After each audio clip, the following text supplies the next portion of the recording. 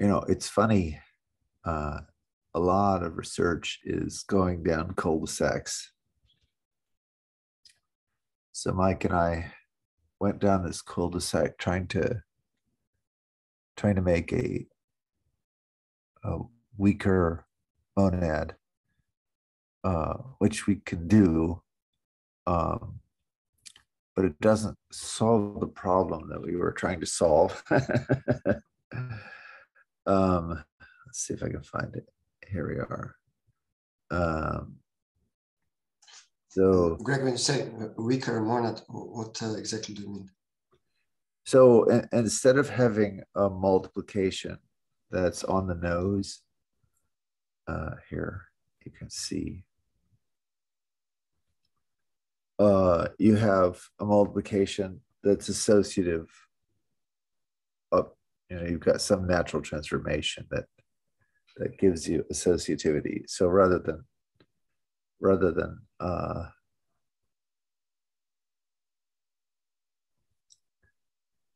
you know rather rather than equal you know so the the malt is not the, the pentagon and triangle equations for associativity are not equations you've got you've got an you've got an associator that you need to put in place like this all right so mm-hmm. so you've got I see. So you got a, you got a natural transformation, uh, mm-hmm. right? Uh, and a modification alpha, which is gonna, which is gonna give you the, give you the, uh, the the shape that you need, right? You can get from one shape to the other, but it's not it's not on the nose. Uh, the same with the identities, really. Uh, so. Mm-hmm. mm-hmm. Yeah, so, so that doesn't quite that doesn't quite uh, do the job. Um, but it turns out, it turns out uh, we can still get what we want. Uh, just trying to find the page here. Where is it? Here it is. Okay. So what we really, what we really want is a, is a notion of is a notion of um, negation that generalizes the kind of negation that uh, uh, that you get uh, from uh, sets. Uh, so it's it's not the sort of it's you know, but it's not generalizing it in the way, for example, that uh, intuitionistic negation generalizes it. Um, so so the idea is just find a page here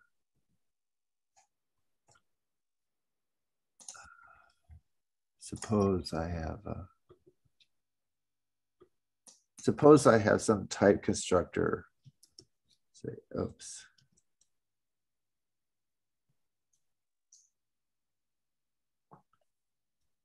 which I'll write down as a functor. Okay, I have some type constructor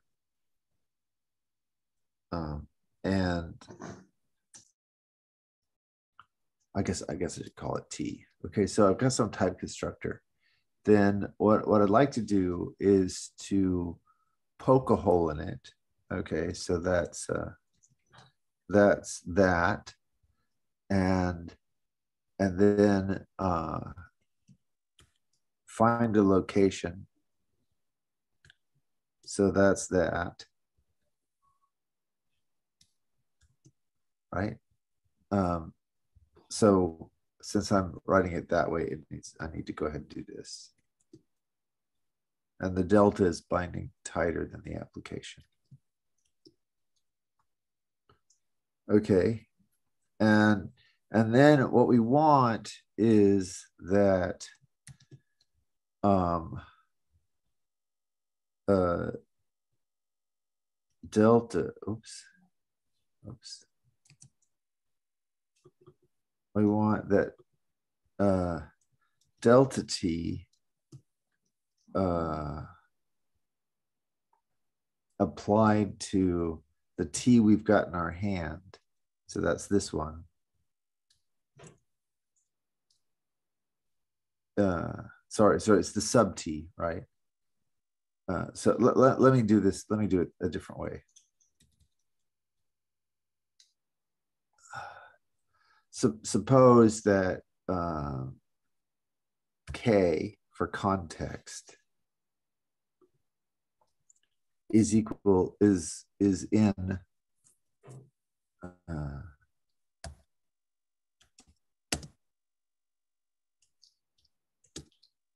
delta t of x.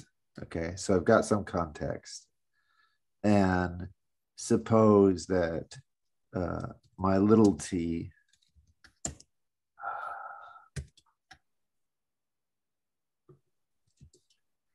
is equal to k of t prime. Okay, so that's the situation that is represented by this type. right? so let me let me make this at the type level. Rather than the instance level. Okay, so so that's a location, right? Uh, so I've got a pair, so that would be k and t prime. And suppose that t is the the term you get from applying the context to the t prime. So this thing is um, uh, uh, that's the this this is the context, and that's the sub. That's the piece of T that is that is surrounded by the context. So when that is the case, then I can I can say that the complement of T prime is going to be everything in the context that isn't the T prime. So in other words, mm. K of some zero. Okay. That's the con- complement. And so then anything, so so then all we have to do is we have to insist that T is not a monad plus, but just that T comes with a zero, right? That's that's all we need. So instead of being a monad plus, it's like a, it's, it's not even a functor plus, it's a pointed functor that comes with a zero that I can stuff in the in the context.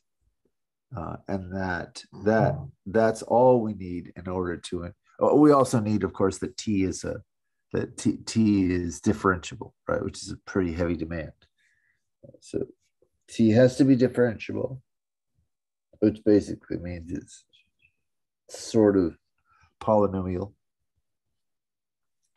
Mm-hmm. And then uh, and then we and then it comes with a zero. Uh, it could be like a t plus, right? So a functor plus. So you could you could also have the addition, um, but uh, uh, but you, you have to at, at a minimum have the zero. And now we can define a notion of negation. And in fact, we can define a whole power object, right? You can you know it's all the different ways you could split up uh it's it all the different ways you could split up t mm-hmm. right so so in, in fact it you know the, the power object is going to be um it's the it's the uh, uh let's see let, us call it, uh, I don't know, capital T. No, that doesn't work. Uh,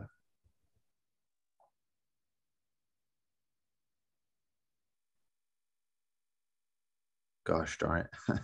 I am out of ASCII characters. Uh, let, let's call it T plus. Okay. So T plus is going to be is going to be the T. It's it's uh, oh let, us write it let's write it at the type level. That'll be easier. So the type of the power object is this thing. Oops. Like that. So it's all the pairs right and it's all the pairs such that when you apply the context to the um, subterm, you get t back. right? So we collect we collect them, and then that gives you a that gives you the uh, the notion of power gadget. Um, and when go ahead. Um, uh, when you say that uh, for t uh, you want to have uh, empty or, or zero, um, why can you just say that uh, k has some kind of notion of empty hole? No, it's not. it's not. It's not k, right? It's got to be the t. Mm-hmm. K, but K, even I'm, I'm, thinking k, that, even if it, k is the instance, right? Mm-hmm. I'm, I'm, thinking that uh, uh, this zero is not directly related with t, that, that this can be some other uh, s prime or uh, whatever, and zero is still the same, right? Or, or not? The, the zero is constant, right? But it's a constant mm-hmm. relative to t. Mm-hmm, mm-hmm. T is our initial input, mm-hmm. right? To the to, so, to the. Mm-hmm. Go ahead. I'm thinking not not t prime uh, negation of t prime is uh, basically just the context without t prime inside. The, no, no, no, no, no. You can't have a hole in it. You've got to fill it up. Mm-hmm. You've got to make a T. Mm-hmm, mm-hmm. right? It can't. This not T prime is of type T, not delta T. So we want to fill the hole with minimal yeah, you something fill that is basically nothing, right? Exactly. You fill the hole with with mm-hmm. something that that gives you no mm-hmm. information. Mm-hmm, mm-hmm. Yeah. So the only information is whatever was left after you've taken away the sub gadget. Mm-hmm. Yeah.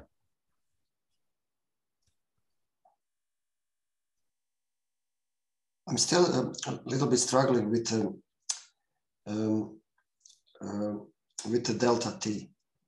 Um, I know that you explained this multiple times, and also with uh, with uh, Brian, you, you you were talking about that, and um, it's just you know like the the simplest way to to see this is uh in a grammar wherever you have a non-terminal, you replace it with uh, a hole. Right. So. Hmm.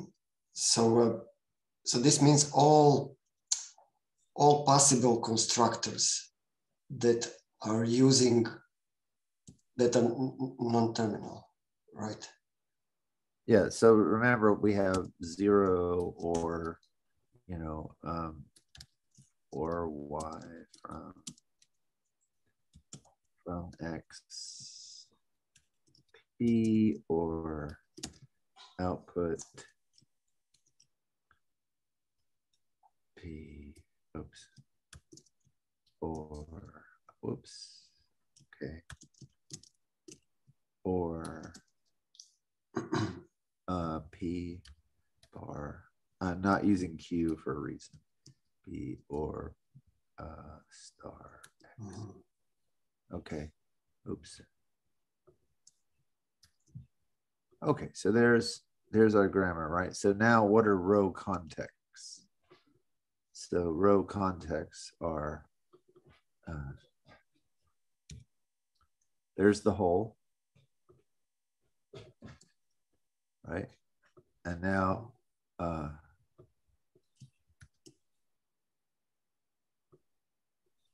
I can put a hole there. I can put a hole there. I can put a hole on the left side. Since it's commutative, I'd, I, so if, if par were non-commutative, I'd have one on the left and one on the right. Mm-hmm. Okay. Right. But since it's commutative, it doesn't matter. Right. And then uh, star X doesn't matter, right? There's no there's no non-terminal P in there. Right. So that's it. We get rid of that one. There, that's all the context.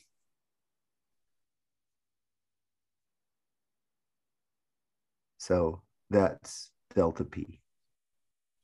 Mm -hmm. I see. And zero is zero is a whole, but uh, no, zero is not whole. We, we, we got rid of it. Um, we got rid of zero, but we have to have a place to start from. Oh, uh, uh this is like a, um, a fulfilled whole, which is a, a constant. No, no, it's the it's the it's the context that that, that has no surrounding area. Oh. So like this this has some surrounding area, right? Mm-hmm, mm-hmm, okay. So so in general, like if you've got some polynomial, it will follow the derivative. If you've got some polynomial functor that's, you know, it's made up of taking sums and and and uh, uh, uh you know products and co-products, right? Mm-hmm. Then it will follow exactly the rules of the you know ordinary high school derivative. Mm-hmm.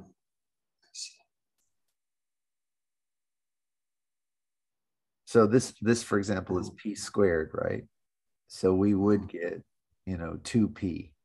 That's why you get a left and a right. But it's not 2p.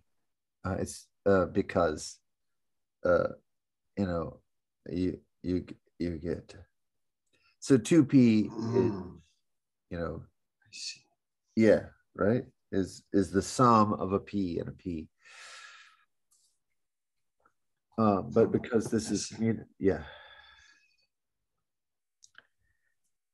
Mm-hmm. So I mean, I strongly recommend reading uh, Conor McBride's paper on the derivative of a polynomial functor.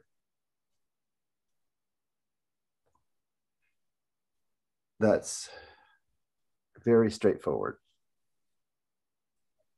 Right. It's, he mm-hmm. explains it incredibly well. Right. I know that uh, you, you, you previously said that, and I, I was looking at this paper, but uh, I should definitely now look uh, again because I have like better uh, better view. Okay. Yeah, it's it's mm-hmm. it's very straightforward. And so so now you know we we've got everything we need. But like the last thing that was missing was was a was a negation. So now we now we've got a negation. Um,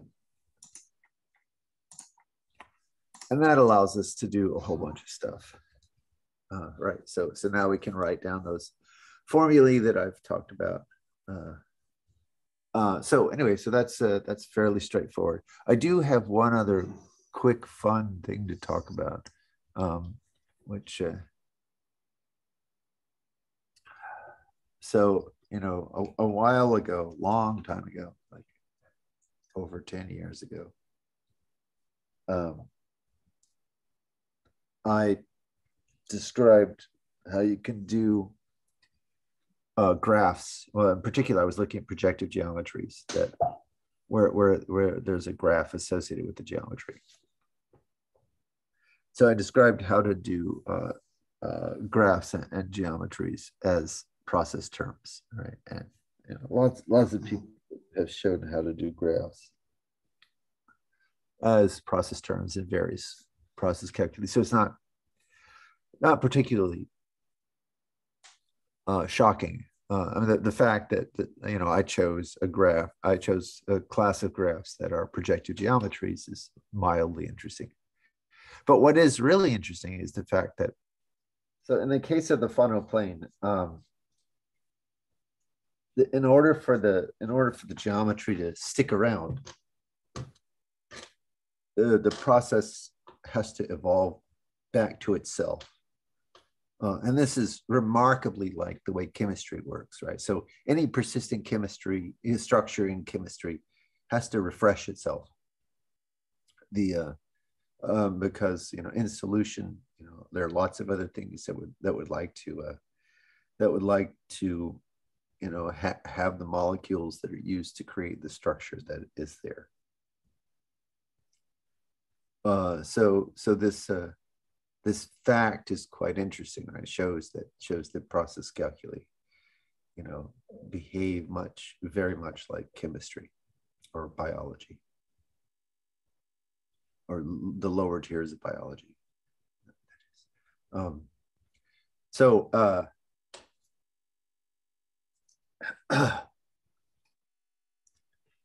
um, we could apply the same trick to a lot of other mathematical structures, not just graphs. So for example, imagine I have a set P like this, okay? And it's it's full of processes. Now imagine that um, for all P that's in, in this thing, um, let, let's imagine first of all that, um, and let's say for all PQ, right? In that we have that uh, uh, P par Q. Uh, it's not working. Dot. Let's put the dot here.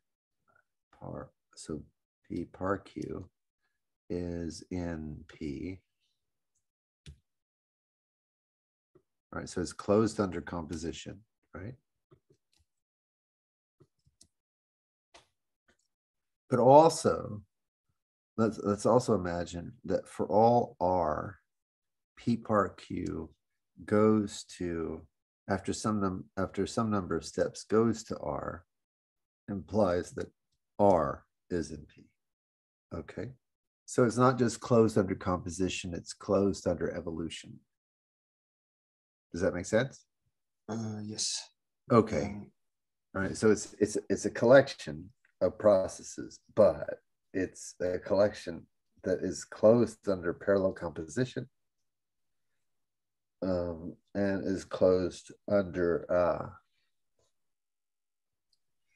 and is closed under um, closed closed under evolution.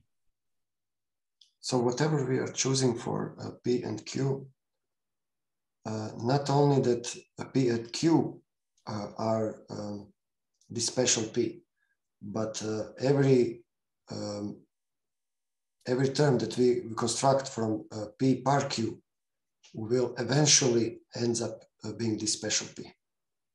Well, every every term that P par Q reduces to, So not not if uh, P and Q doesn't reduce, uh, then uh, this is fine.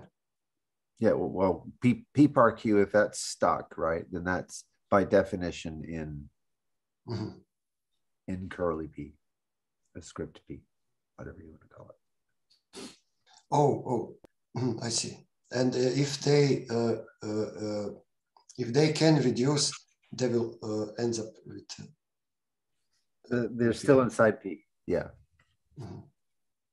Okay. Okay. Okay. So so now we're going to use our notion of annihilation. Uh, and we say that um, uh, for all R, um, so we say since P is closed. Oh, and I, I have to I have to insist up here uh, that uh, sorry, grab these. Also have to insist one other thing. And can you spot the one thing I, I missed out? The base case. Okay, what is the base case? Hmm.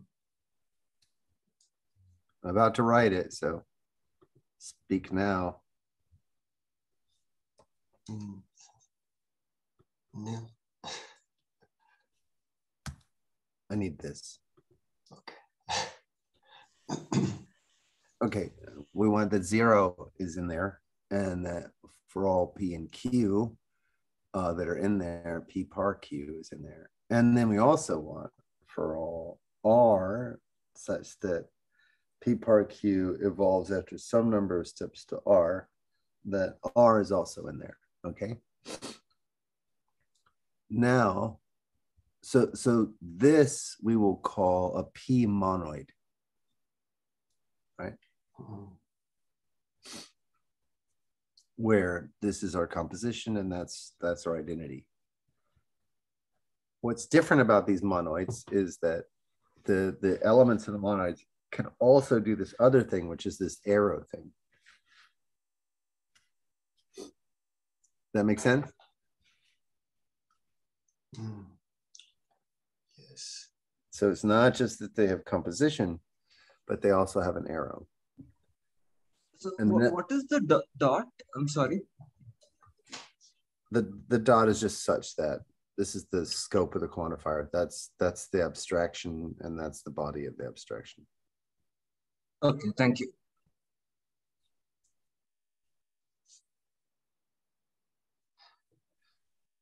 So when you say uh, uh, uh, th- this monoid also have an, uh, have an error, error, um, composition is uh, basically the binary operator. It's the Right. bar. Yeah, composition is Mhm. bar. Yeah, but And the, uh, but the arrow is you- you're saying that arrow is uh, different. yeah. So so just just like um Mhm. So just like our graphs, right? Our graphs kind of exist at a moment in time. And then they they disappear unless they refresh themselves. Our monoid elements exist at a moment in time, right? And then they disappear, they change, they wiggle, right? But we want to make sure that whatever they wiggle to, they don't leave P. They don't leave curly P.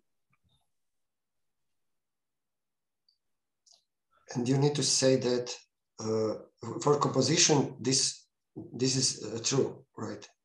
But for arrow, this doesn't have to be true. This is why you're you're specifying this. Correct, right. Like like you you you could you could get them in P, but they might not stay in P, right? So you form you form the chemical, right?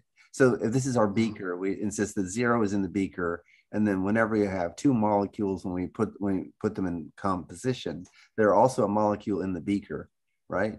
But but these things can interact, and so they might evaporate and leave the beaker, right? So this is saying that the beaker is closed with respect to that the chemical action. Oh, I see. Yeah.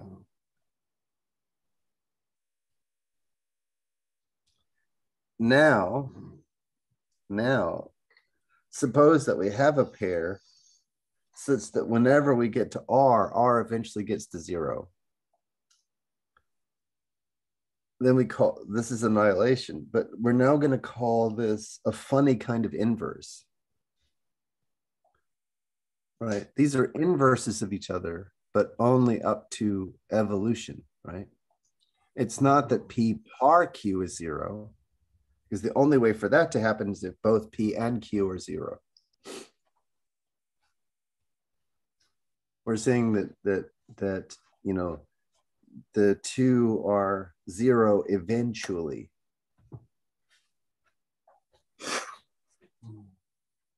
So this gives you a P group. Clearly, par is associative, right? So we don't have to worry about that, right? It's a monoid. And we've got this funny notion of inverse, right? So P and Q are inverses of each other, but only only if, you know, however they evolve, they eventually evaporate. They eventually go to zero. They annihilate each other. Mhm. So that's a that's a that's a a, a P group. Um, and in fact, you know, it's commutative, right? Because if P annihilates Q, then Q annihilates P clearly. If, if this is a group, can we can we somehow? Uh, But it's not it's not a group. It's not a group. oh, okay, okay. it's a P group, right? Pick a- Oh, I see. So we cannot like go full circle and create something. Uh, You can create lots of stuff with this structure, but the structure is not the same as a group, right? It, we only get to the zero, we only get to the identity eventually. It's not on the nose. In order to get a group, you have to mod out by the behavior. Now, if you think about it, you know, the existing uh, algebra systems that are out there, they're always doing evaluation. So this is closer to what an evaluation representation would you know some computer representation of a group looks more like this than it does like the the the group theoretic specification of a group. When i compose them after i do a bunch of compute that's this part then i get to the identity.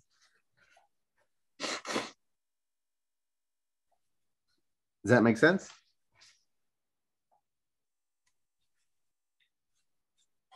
Um,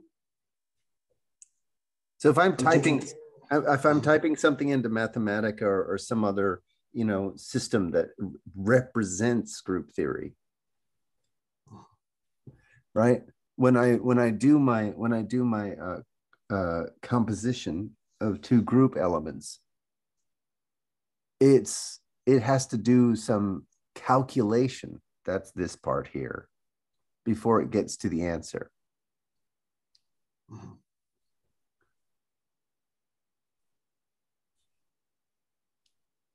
Does that make sense? Yes. And uh, are, you, are you saying that uh, uh, when the compiler will try to um, compile the program, it will try to get Well, I'm thinking more of an interpreter, but yes. Mhm. I'm thinking compiler in a sense that it will try to get to the end. Yeah, yeah, but you know, you yeah, yeah. Um, so so now let's do the standard stuff that you want to do with group theory. So suppose that uh so one, one thing we'd like to do is is representations. Okay, so one thing we'd like to do is something like um, um you know uh representations of permutations. So how about I um how about I have some some I- I'm gonna I'm gonna write um our permutations like this. So I've got uh, some list of cycles. Right. So I've got I've got uh you know uh just as an example, right? So uh, I'd, I'd like to write it down generically, right? So I've got, uh, I'll do it this way.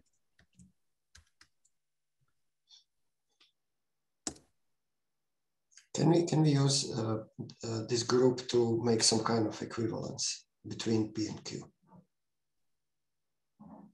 Because we know that uh, they will reduce in some uh, the same R.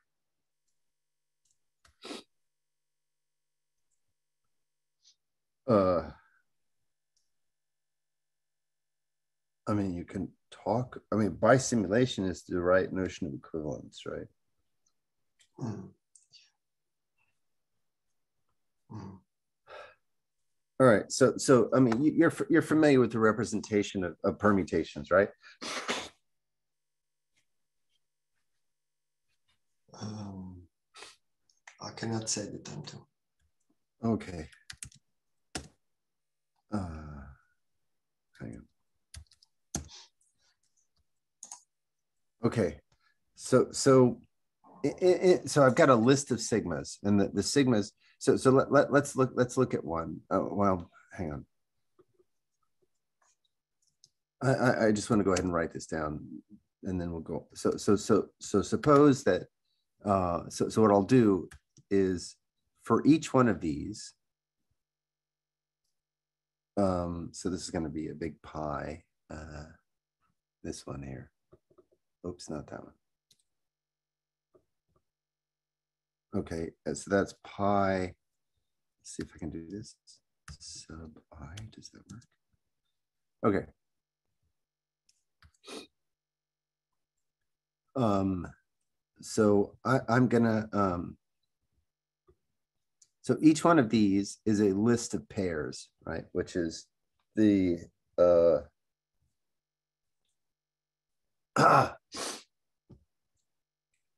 the position um, that we are in and the position we go to, right? So, so uh, I'll, I'll finish this. I'll give an example and then I'll finish this off.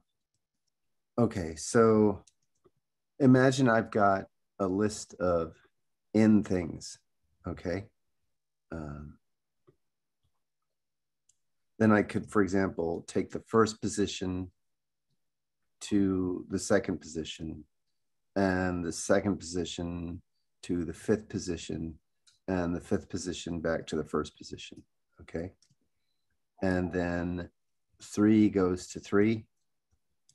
And uh, let's say four goes to four. So that's a permutation of five things. Does that make sense?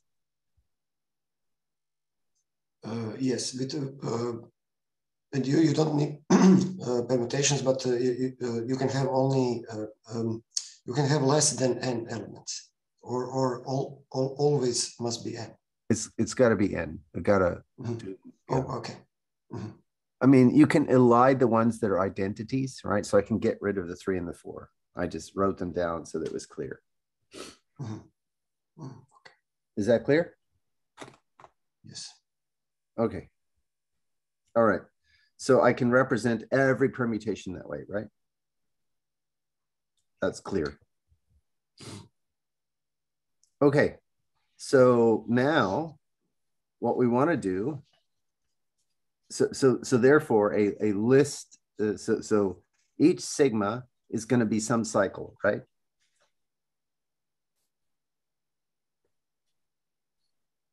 right? And let, let's say that we in, index these cycles in um,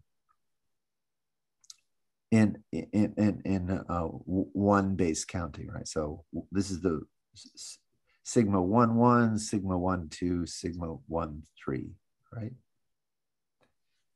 So um, get rid of that.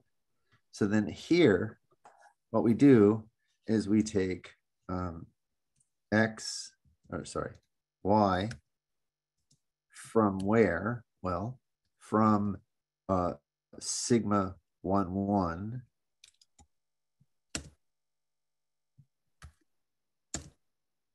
uh, sigma 1, 1, right? And then, um, so I take it in from 1, 1, and then where does it go to? Well, it goes to one, two. Okay, so let's just do that. So where does it go? It goes out on um, X. Oops. Uh, sorry, goes out on uh, sigma one, uh, one, two.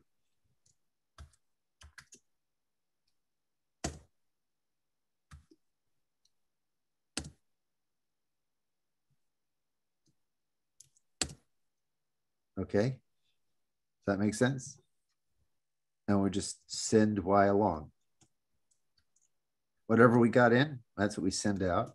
And then um, we need to go um, in parallel uh, for um, Y from now sigma uh, one, two, oh, we have to be a little bit careful. um, yeah, we have to be a little bit careful. Let's polarize these. Okay. So let's, um, uh, we, we want to separate the, this one from this one. So I'll go, um, I'll write to negative. So N for the negative version of this and P for the positive, right? So we're making polarized channels. Okay. Mm-hmm. Right. So I'm just separating them. And the reason I'm separating them is because I don't want this the the thing to uh to cycle right here. So let me um give myself a little room. So we'll format it here. Okay. And you're you're shadowing the y um, because No, I'm not. No, it's inside. It's inside of a separate for comprehension. Right. This is a separate y from that one. Right. That that y is all done. Now, obviously, if inside this body, inside this body, if I mention a y, that y is going to be this one, not that one. uh, but I don't see the end of uh, first four. Doesn't matter, right? This is inside this one. This y will be a separate Okay. y from that one. Mhm, mhm. All right, so then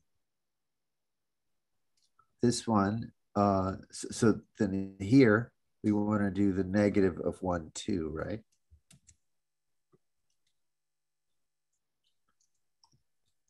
So this becomes the two. Oops. Do, uh, oh, I can grab it that way.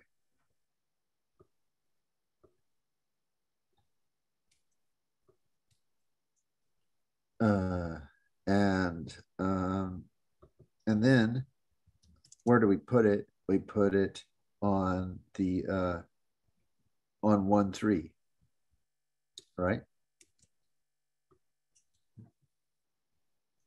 In parallel with dot dot. So this becomes one three.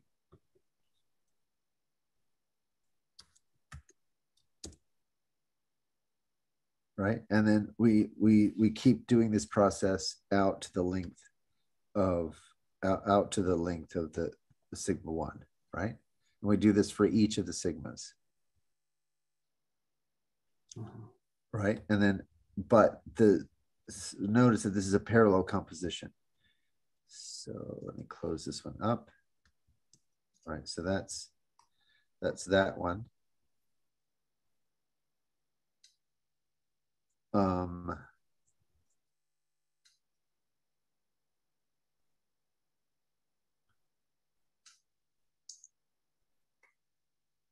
yeah, that's correct. I got the I got the braces correct.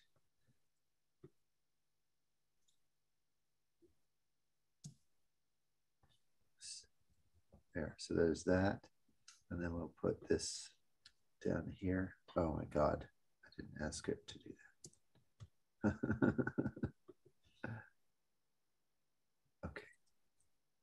There we go. And then that goes on the inside.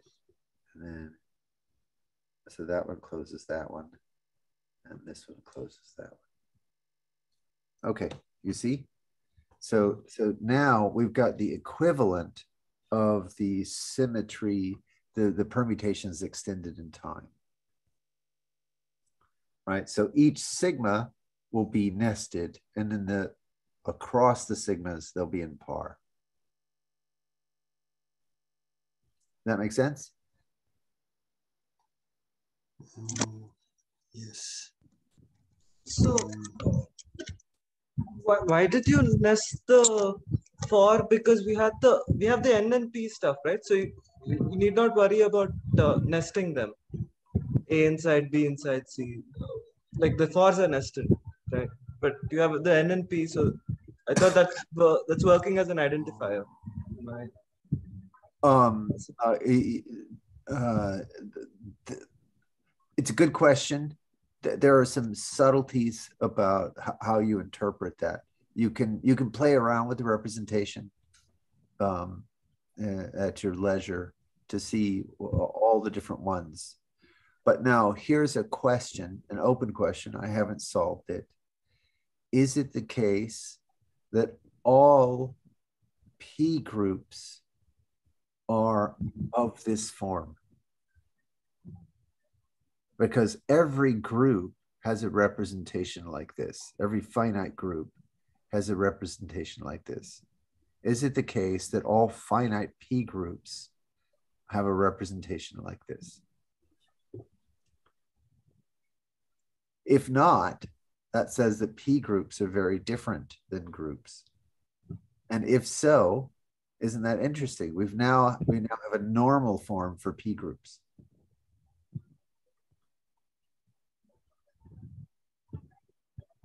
Do you see what I'm saying yeah.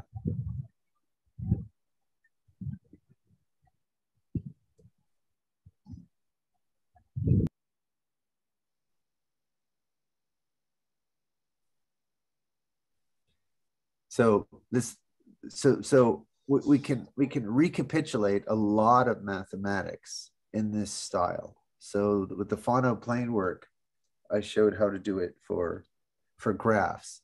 Here I'm showing how to do it for groups.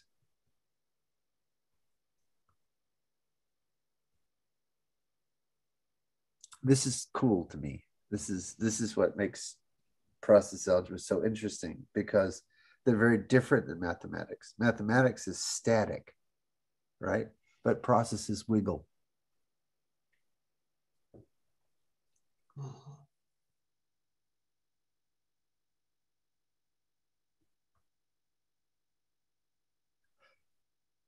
When you say uh, uh, the processes wiggle or, or um, so with an, with an this is the arrow that, that uh, uh, is different from uh, like yeah. a normal definition of a group. That's correct. And, mm-hmm. Right.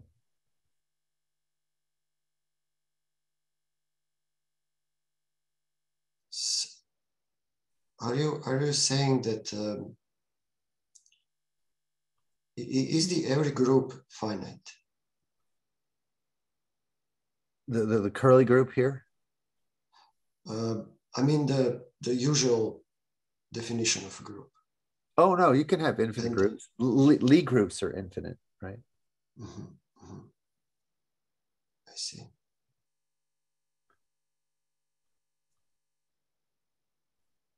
Can I just clarify the fourth uh, thing that P uh, perpendicular? I don't know what you call that symbol. Q. I just, I just, I, P annihilates Q. P annihilates Q. Uh, can you just uh, read it out once uh, so that I understand what's going on there? Uh, just once more. Yeah, we, we, we say that P annihilates Q. Alternatively, Q annihilates P. It doesn't matter. It's commutative. If and only if. For any R that P par Q can reach after some number of steps, that R eventually evolves to zero.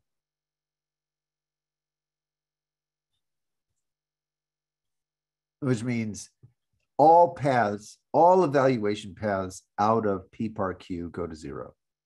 So they eat each other up. I have another question, just slightly related. So uh, to this, which is uh, for every P, does it imply that there exists a Q such that uh, like P and Q annihilate? Or yeah. Yeah, in order to be the P group, you have to have the you have to com- complete you have to complete it under you have to have a you have to close it under annihilation to be a P group. So, so Rholang, uh, as we have currently defined it, does not satisfy this property, or no, it doesn't. No, no, no, no, you don't. Ah. That's that's why I pick a curly P. Achha. So, so Rholang needs to be ex extended, like as we currently have it. No, needs to be no, no, extended no, to satisfy you, this property. No, you'd you'd pick a subset of Rholang terms. This is this is a smaller universe than Rholang. That's why this has a chance of being a normal form for curly p's. So this is something I was thinking about because there in, in Rholang there are certain things that like persistence cannot be uh, cannot be annihilated. So uh, I was thinking that at, at the stage at which we have defined it does you don't have full control over memory. If you put something in memory, there are certain things you cannot delete. So I thought uh, that I, I, don't know if that's desirable or not, but I was thinking about like sh should Rholang have such a property? Like yeah. Again, what what you do is you pick a small a subset of Rholang, not uh, not extending Rholang. So your subset is actually you don't allow for persistence. You only allow for for uh, for things where you you either recurse or you branch off to annihilation. All right. So every every everything that has a persistence definition, you you change it to a definition where you could recurse or you could branch. And the branch goes to the zero. That's how that's how you that's how you get persistence that annihilates. You see what, you see what I'm saying? Yes, yes, I, I follow what you're saying. Cool. So, since you mentioned branch, I had another question. So, what is the type of the match, uh, as we understand it in Rholang? What is the type of the match construction that we use? Yeah, match can be encoded in par and for comprehensions. Uh, this is a well-known result. Yeah. Okay, that. Okay, okay. Uh, yeah, uh, fine. I, will think about that. Uh, okay, thank you. Um, all right, it's a 801 time for Dev Stand. Yeah. So I will uh uh well thank you for your attention. Thank you so much. And I will see you next week. Thanks, Greg. Yeah, thank you.